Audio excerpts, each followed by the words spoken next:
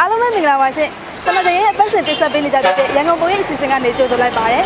ဒီတစ်ပတ်မှာတော့ကိုလိုနီခေတ်ကဘီသူကလက်ရရနဲ့တိစောက်ထားတဲ့နှစ်ပေါင်း100ကျော်တပ်တန်းရှိပြီဖြစ်တဲ့အဆောက်အဦတစ်ခုအကြောင်းကိုတင်ဆက်ပေးချင်ပါတယ်အခုမြင်တွေ့နေရတဲ့အဆောက်အဦကတော့သူ့ရဲ့နာမည်ကိုတသက်မတ်မတ်ခေါ်ထားခြင်းမရှိပေမဲ့လည်းပုံတယ်လက်အဆောက်အဦလို့လူသိများပါတယ်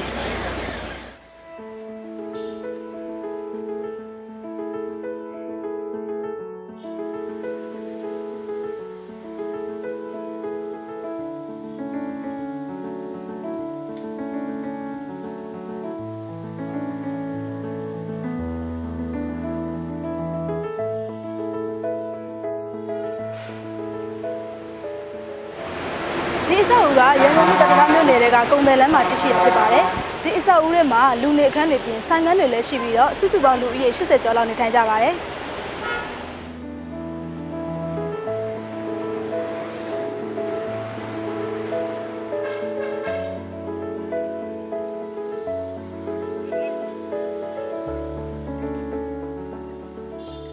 လွန်ခဲ့တဲ့နှစ်ပေါင်း100ကျော်ကတည်ဆောက်ခဲ့တဲ့ဒီအဆောက်အဦမှာကိုလိုနီခေတ်ပြည်သူ့ကလက်ရာတွေကိုလေ့လာနိုင်ပါတယ်။ခိုင်ခန့်တဲ့အုပ်စီနေရံတွေနဲ့တရက်လှပတဲ့မှန်ပရင်းပေါက်ဒီဇိုင်းတွေအပြင်လက်ရာမြောက်လာတဲ့လှေကားလက်ရန်တွေကိုတွေ့မြင်နိုင်မှာပါ။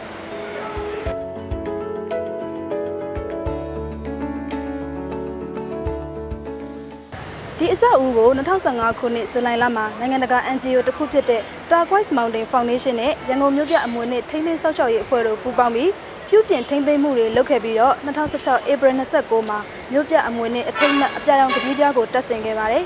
။ဒီအဆောက်အဦကလူသိများတင်ရှားလာတဲ့သတင်းစာဆရာကြီးလူလူစိန်ဝင်နေထိုင်ခဲ့တဲ့အဆောက်အဦလည်းဖြစ်ပါတယ်။